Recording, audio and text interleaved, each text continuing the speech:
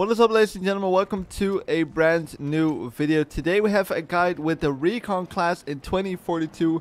After this video you know for the Recon class which are the best guns to play, the best specialists to use, the best gadgets to use, when do you play Recon and how do you play the Recon class. If close quarters combat isn't for you, then look to the Recon class for strategic vantage point abilities. Recons like Paige, Casper and Rao look to avoid direct confrontation with the enemy frontlines and instead look for backdoor opportunities for themselves and the team. Their equipment interferes with enemy systems and create weaknesses through subversion and sharing information about enemy positions. The main goal of the Recon class in 2042 is spotting players and try to kill them from a longer range. You do not want to be the aggressive player up close or the supportive player with the med crates or the ammo crates. You want to be more of in the back of the map trying to annoy enemy vehicles with Rao, spot players with Casper, and Paige, which is a specialist that doesn't really suit this uh, class in my opinion, but can still be useful uh, to spot players up close. But the main thing you want to be using is Casper and Rao. The best guns to use for the Recon class are the snipers and marksman rifles. The reason why is that you're gonna be playing for longer range, you're gonna be more of a spotting player, but also you have the extra perk of the immediate and constant steady scope with sniper rifles.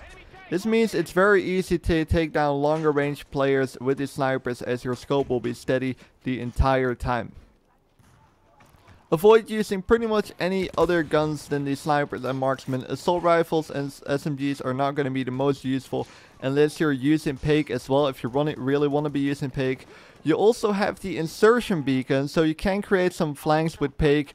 Use the SMGs or the assault uh, rifle class. However, the you're not really getting the most useful perk uh, of the immediate and constant steady scope, uh, which is only for sniper rifles. So if you're deciding to go aggressive, which can be useful with the insertion beacon, try and stick to Paige and avoid using Casper and Rao. If you're more of the defensive player for longer range, stick to Casper and Rao so you can be as useful as you possibly can be. Your main goal is spotting players, but also you can uh, hack enemy vehicles uh, with both the drone if you're within a close range enough and uh, with Rao, of course, his special ability is to hack vehicles. So you can be spotting players for your team, but you can also be annoying enemy vehicles. Destroying vehicles isn't really your main thing. You have the C5 explosions as gadgets, um, but I would personally stick to using the SOFLAM. Uh, the Tracer Dart can be very useful as well. You have the Claymore you can use if you want to set up a good solid camping position. However, there's a lot of ways to avoid claymores, uh, but you can still use them if you want to make sure you're not getting shot from the back, or if you have a little ladder set up where you want to be putting the claymore in front of. Personally, I would stick to the uh, SOFLAM. Uh, the proximity sensor can be super useful as well. The range isn't very far on it though um, but you can be very useful. The C5 explosive can be useful if you're trying to hack vehicles and if they get close to you, uh, but this won't happen too often as you're going to be more of the defensive player. Now, when do you play the Recon class? You play the Recon class if not, there's not too many other people playing. Also, you want to be trying to use this uh, class on the more open maps as you're not going to be having the best spotting and sniper abilities on close range maps. But again, if you see too many recon players on your team, don't be one of them as well. There's never a worse thing as a team where almost half of the enemy team or the friendly teammates are sniping in the back of the map where you're trying to supposed to take objectives.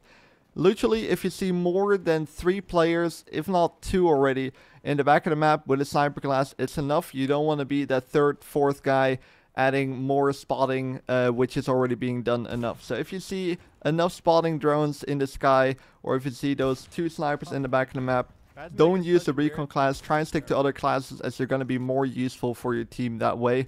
And avoid uh, becoming one of those useful or useless players, I would uh, say. So again, quick overview, use the snipers, play more defensive. There is a way to play aggressive, of course, with Paik and the insertion beacon. Try and help your team by hacking and spotting as many players as uh, you possibly can. And it's definitely made for the more defensive player that still wants to be useful, but you can definitely have more than enough uh, recon players very quickly. So keep that in mind. Hopefully this video was useful. Subscribe if you haven't yet. Uh, leave a like and I hope to see you guys in the next video.